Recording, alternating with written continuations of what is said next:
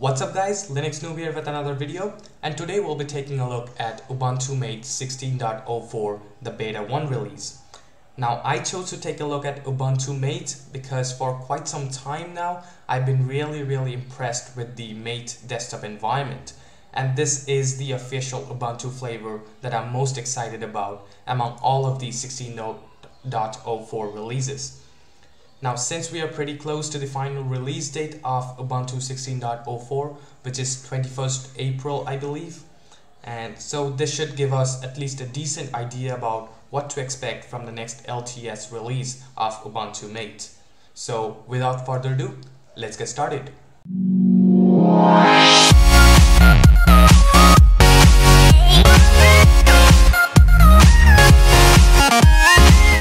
First of all, what I'm showing you over here is a full hardware installation. This is not running under VirtualBox. Personally, I don't prefer reviewing distributions under VirtualBox as I feel like they don't represent the exact experience that you'll be getting on a full hardware installation.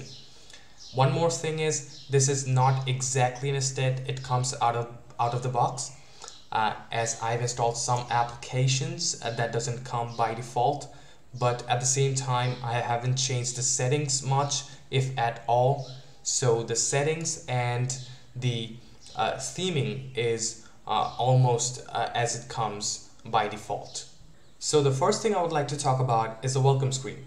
Now I usually don't take a look at the welcome screens in my reviews uh, because most of the time they're mostly the same. What they give you is some basic ideas about what the distribution is all about and mention some of the features that it has. But this welcome screen has some interesting things that I haven't seen that much before. Now, like any other welcome screen, uh, this also gives you the basic documentation about the distribution, uh, but it also has these two tabs that I would like, like to talk a little bit about. Now, if we get into the Getting Started tab, you'll see that there are all these options that you might be interested in taking a look at uh, right after you install the distribution itself. Uh, like for the software updates, there's this direct link to the software updater itself uh, and also if you haven't installed the uh, codecs, the third-party codecs uh, during the installation, you can do that uh, directly from here. Next is the drivers tab you can install uh, the proprietary uh, drivers the additional from the uh, additional drivers tab here. Uh, again this is something that was always there in Ubuntu but it's really nice to have all of these options in uh, one panel under the welcome screen. It just makes things much more uh, convenient in my opinion. Now one thing I would like to, you to note here if you are an AMD GPU user like me as you can see here the proprietary drivers are no longer supported officially in Ubuntu 16.04 which basically means that they are no longer available in the official Ubuntu repositories. Granted, you can download the latest drivers from the AMD website and install them manually, but I've always had problems installing proprietary drivers in Linux, regardless of which distribution I'm in. Now having the option to install them directly from the additional drivers page was a huge convenience, at least for me. And even though they were not the latest drivers, uh, but they always worked without any issue in my experience. I never had any problems installing them uh, from the official repositories. But now in Ubuntu 16.04, we no longer have that option.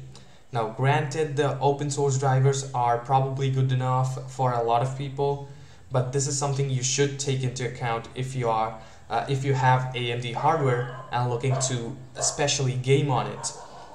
Now this is not a problem specific to Ubuntu Mate as all the distributions that will be based on Ubuntu 16.04 will have this problem but there's a problem nonetheless.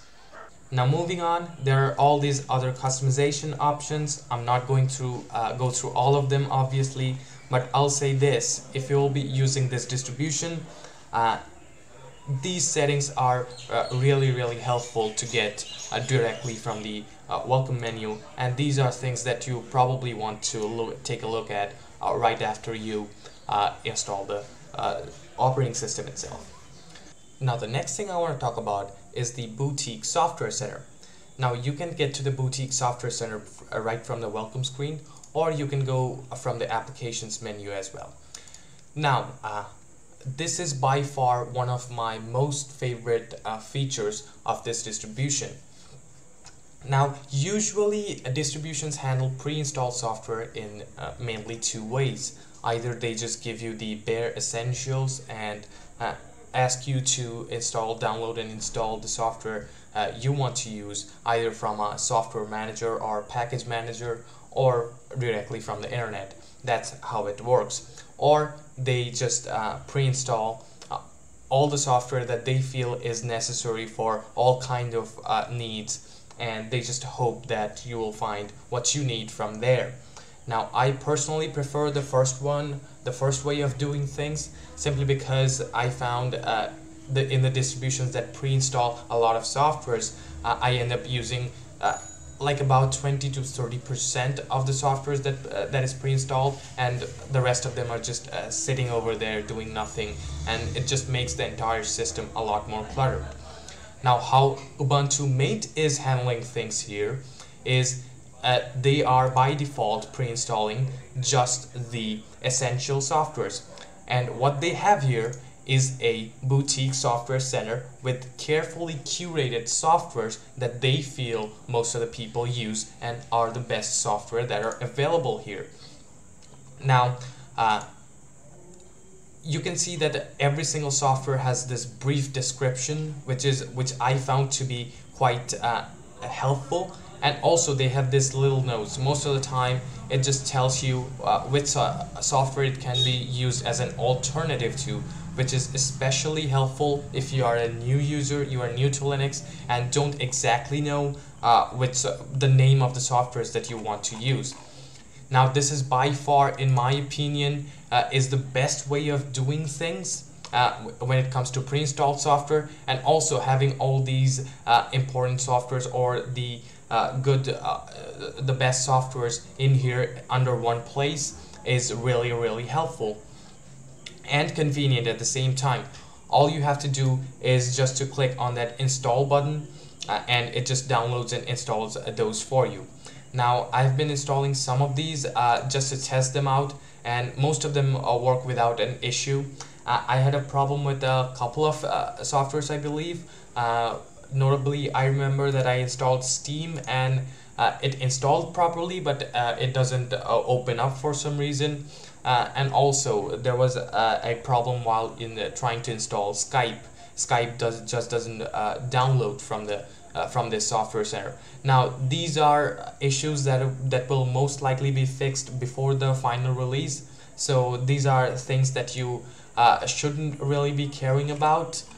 And also uh, if you want, there are other software manage managers available to download and install directly from here. The Ubuntu Software Center, just any other software center you want, and Synaptic Package Manager is uh, installed by default. Also, there are options to update the software lists and also if you uh, need to fix some broken packages that could be done directly from here. Now, also one more thing interesting I found about it is you have the option uh, to hide proprietary software if you just prefer to install free software or open source software. You just click this uh, and uh, the proprietary softwares uh, go away from the list here. Again, this is something I really really like because they are not making the decision on themselves and forcing it down your throats. They are giving you uh, the option. It's there for you to choose whatever you want to do. So that's the boutique software center for you in Ubuntu Mate 16.04 personally this is unlike anything I've ever seen before in any Linux distribution. And uh, now that I've seen it, I personally feel that this is the best way of handling pre-installed application, especially for new users. And I hope more and more distribution uh, start incorporating this. Now onto the desktop itself. Now the first thing I noticed Im almost immediately is uh, how snappy it actually feels. Now this is something I can't really explain that well in words, you really have to experience it in order to realize it but the entire system somehow feels a lot faster and responsive in doing the very basic things like opening up windows and apps, uh, moving the windows. It feels a lot more responsive. Now, uh, I personally use an SSD, uh, so I'm used to that speed but uh, this is not uh, exactly that speed I'm talking about. This is about responsiveness, responsiveness and snappiness mostly. Now, uh, in fact, I've installed this specific installation is on a hard drive. In fact, in fact, a slower variant of the hard drive, the 5400 RPM hard drive. But still, it manages to feel a lot more responsive and snappy than anything I've seen in the Ubuntu side of things before.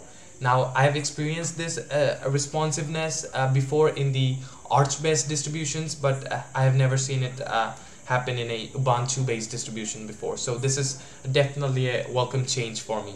I don't know again exactly why uh, what's the reason for this. This might be the new Mate desktop. This might be the Ubuntu 16.04 base or it could be something else. I'm not sure but this is a definitely a welcome change not nonetheless. Now this version of the distribution comes with the Mate 1.12.1 desktop environment along with the Ubuntu 16.04 base. So obviously it has all the goodness that Ubuntu 16.04 comes with.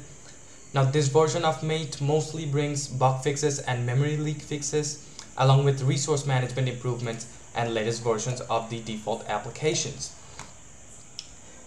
Now uh, the default layout as well as the whole desktop environment as you probably know by now, resembles the GNOME 2 desktop environment and it improves on top of that, which I personally quite like. Now, I first gave Linux a try back in the Fedora 8 days, which had GNOME 2 as its default desktop environment, and I personally liked it since then. Now, I don't, again, personally prefer GNOME 3 desktop, so Mate is something I personally like and I would prefer uh, Mate uh, to use Mate over GNOME 3 desktop. Now in terms of customization, obviously you can customize it to as you like it, but at the same time the Mate tweak tool give you a, a lot of options as well. Now if we open up the Mate tweak tool, the first option you'll get is to have these icons in the de uh, desktop, these default icons. Now, I personally prefer not to have them on the desktop. I personally prefer a clean desktop, but if you want them, you can have them. Now, in terms of window manager, uh, you can have the uh, uh, controls on the right or the left. The default window manager is Marco, but you also have Compiz pre-installed and set up for you. Now, if you use Compiz and you have downloaded, installed, and set up Compiz before, then you probably know how difficult it can be sometimes. Now here it's uh, completely pre-done for you. It's as easy as to uh, coming here, uh, selecting the uh, option from this drop-down menu, logging out of the system, logging back again, and Compiz will be enable enabled. It's that simple. So uh, if you want all those desktop effects, wobbly windows and cube desktop, uh, you can have that here and it's pretty simple. Now in, in terms of interface customizations, the first thing I would like to talk about is the advanced menu. Now by default, uh, the Mate desktop environment comes with this uh, traditional looking uh, GNOME 2 like uh, uh, applications menu, which I personally don't like. Uh, I personally find this to be the, too simple and less functional and especially in uh, 2016 we have so many menus that are more functional and gives you so much more options I like them over this traditional kind of looking menu and Mate has a solution for that as well. Now if you like this kind of panel you can have this as well but at the same time if you like more of an advanced kind of menu you can simply uh, enable the advanced menu and now you'll have the mate uh, menu which is you can see uh, that it comes with most of the uh, features that you might expect from a modern menu modern applications menu uh, including the search panel which is uh, which I personally use quite a lot and you obviously you can customize this as well. So having this uh, really really things uh, makes things a lot easier and convenient. Again you have the option to use either one. Now in terms of panel layouts they have some uh, uh, pre-done panel layouts done for you uh, if you like a more like a Windows kind of setup you can go and choose that and this will give you at the panel at the bottom much like uh, how Windows does things. If you like uh, the kind of like the Mac setup with the dock at the bottom you can have that as well all the dock and everything is pre-installed and pre-set up for you. And obviously you can have your you can customize your own layout as well and save it.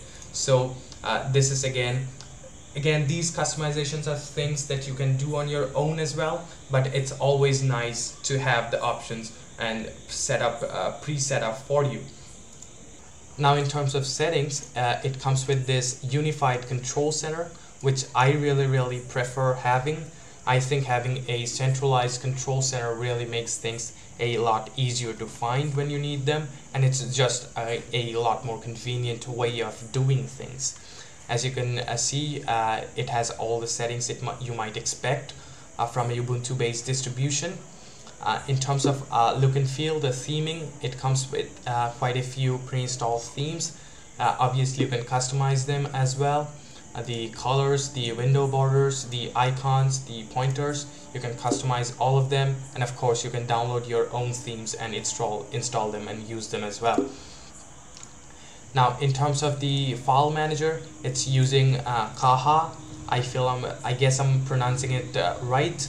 Uh, and it also has all the general features that you might expect uh, from a modern file manager including the uh, split panel uh, thing here which I personally quite prefer. I think it's just a lot convenient way of doing things when you're transferring a lot of files between two places now in terms of system resource usage, uh, right after a cold boot, I found uh, the memory usage to be somewhere around 400 to 420 megabytes. Uh, which is quite good in my opinion. Obviously, right now it's using uh, much more than that since I'm recording this video. But uh, for a modern uh, desktop environment like Mate is, and in terms of the functionality that it offers, uh, using 400 megabytes of RAM uh, by default is quite good in my opinion. Now one problem I noticed is screen tearing. It's there and it's very noticeable from time to time, especially while watching videos and moving windows. Now this is something I've been facing in quite a few desktop environments for quite some time now and it's there in this one as well. Now one solution to uh, this is to use the Compiz uh, window manager which takes care of that so if that's an issue for you and you don't find any other solution, then you might be forced to use Compiz, which you might or might not like. But other than that, I don't really have any major complaints about this, this distribution. So overall, the first impressions of this distribution is really, really good. It has a solid Ubuntu base, it feels polished and responsive, it's easy to use for both new and seasoned users, and it gives you a lot of options. Now if you follow the channel, then you will know that Peppermint OS 6 is my primary Linux distribution right now, and I'm looking forward to Peppermint OS 7 when it comes out. But if for some reason Peppermint OS 7 end up being not up to the mark, then this is probably going to be my primary distribution then. I'm liking it that much so far, and the Ubuntu Mate team has really done an extraordinary job with this release. So that's it for this video guys. Let me know what you feel about Ubuntu Mate and which Ubuntu flavor are you looking forward to the most in the 16.04 release. As always, like the video if you liked it, leave your feedback in the comment section down below and subscribe to the channel for more Linux videos. And I'll see you in the next video.